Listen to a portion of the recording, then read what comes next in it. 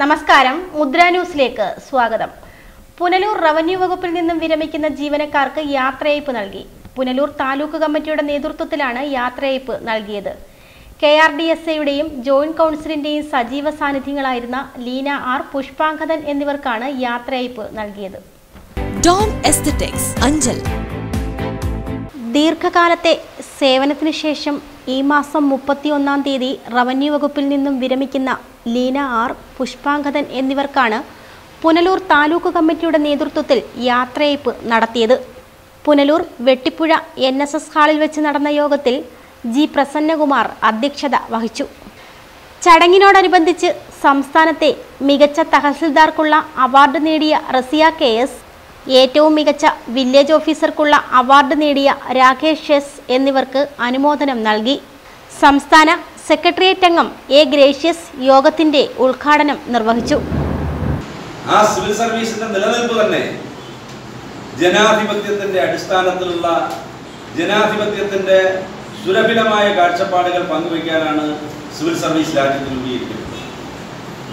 ആ ജനാധിപത്യ കാഴ്ചപ്പാടാണ് രാജ്യത്തെ ജനങ്ങൾക്ക് ആരോഗ്യ പരിപാലനം ഉറപ്പുവരുത്തണം എന്ന് തീരുമാനിച്ചു. ആ ജനാധിപത്യത്തിന്റെ ഭരണഘടനയുടെ കാഴ്ചപ്പാടിന്റെ അടിസ്ഥാനത്തിലാണ് ക്രമസമാധാനം സംരക്ഷിക്കപ്പെടണം എന്നുള്ള കാഴ്ചപ്പാടുണ്ടായത്.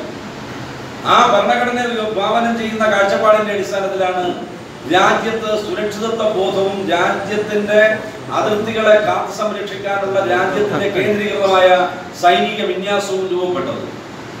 രാജ്യത്തിന്റെ വിദ്യാഭ്യാസ നയം ഭരണഘടനയുടെ അടിസ്ഥാനത്തിൽ രൂപീകരിക്കപ്പെട്ടതാണ്. രാജ്യത്തെ സ്വത്തവകാശം ആ ഭരണഘടന വിഭാവനം ചെയ്തതാണ്.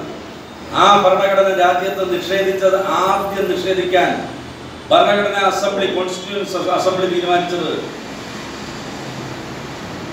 ഈ രാജ്യം ഏതെങ്കിലും കിരീടത്തിന്റെയോ ചെങ്കോലിന്റെയോ മത കാഴ്ചപ്പാടിന്റെയോ അടിസ്ഥാനത്തിലല്ല രാജ്യം രൂപീകരിക്കപ്പെടേണ്ടത് എന്ന കാഴ്ചപ്പാട് പങ്കുവച്ചുകൊണ്ടാണ് കോൺസ്റ്റിറ്റ്യൂൻസ് അസംബ്ലിയിൽ നമുക്കറിയാം ഭരണഘടനാ നിർമ്മാണം റെജി സ്വാഗതം പറഞ്ഞു. R Subhash Rilju R Ani S Ajayakumar Ranjith Sreedarsh എന്നിവർ ആശംസകൾ നേർന്നു. ജിനി നെപ്പോളിയൻ നന്ദി പറഞ്ഞു. റിപ്പോർട്ടർ സുരാജ് പുനലൂർ.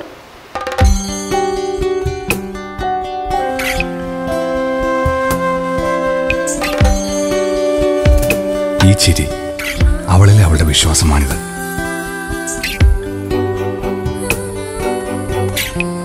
ഈ പൂർണത അവളുടെ സന്തോഷത്തിന്റെയാണ് അവളുടെ തിരഞ്ഞെടുപ്പുകളുടെയാണ്.